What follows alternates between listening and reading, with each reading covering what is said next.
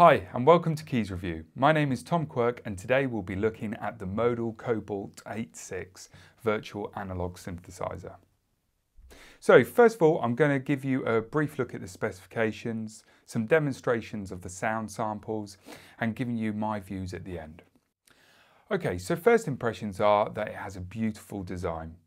The Modal feature a true 8 voice polyphony and we have two independent self-contained 64 resolution virtual analog oscillators with sine, pulse, triangle and sawtooth waveforms. You have four pole ladder filters, three designated envelope generators for amp, mod and filter, and that can be assessed independently or all three simultaneously. We also have eight assignable modulation slots and four additional fixed modulation routings. We have a real-time sequencer with 512 notes with polyphonic mode, a built-in programmable arpeggiator of 32 steps. We also have three stereo effects engines for chorus, phaser, flanger, tremolo, amongst many others. There are 300 incredible factory programmable patches which are fully editable a FATAR 61 note keyboard with velocity and channel aftertouch, a four axis joystick that can be assigned with a modulation. We also have multiple keyboard modes including mono, poly, unison 2 to name a few. There is also glide with both legato and staccato modes. All this is enclosed with a steel and aluminium enclosure. So on the back we have two unbalanced quarter inch jack outputs, stereo headphone out, stereo input to route incoming audio, a sustain pedal jack, expression pedal jack, analog clock sync in and out, MIDI and USB. This also comes with free Modal app software editor for Mac OS, Windows, iOS and Android. There are also modal plugins which work alongside your DAW. Okay, so here are my thoughts on this synth.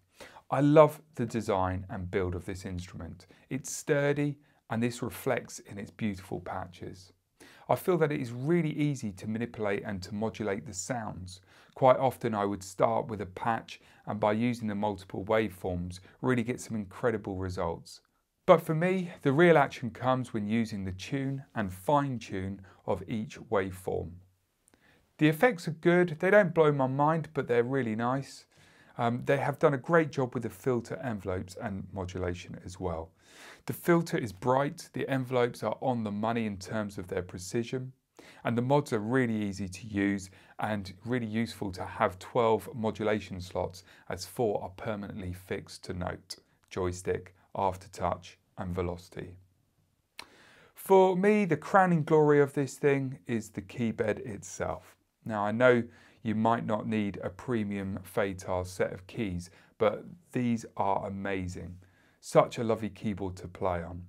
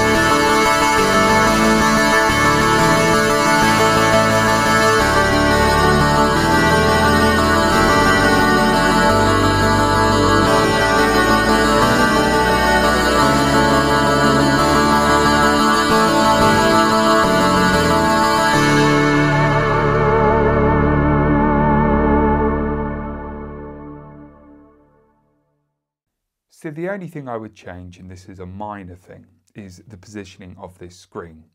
Unless you can grow see-through arms, your arms keep getting in the way when you're doing different modulations and changing the effects and stuff. So, is it worth the price tag? Well, it currently retails around £640 and well worth buying. The layout of this is simple, intuitive and really fun. And again, I can't stress enough how good the keyboard is.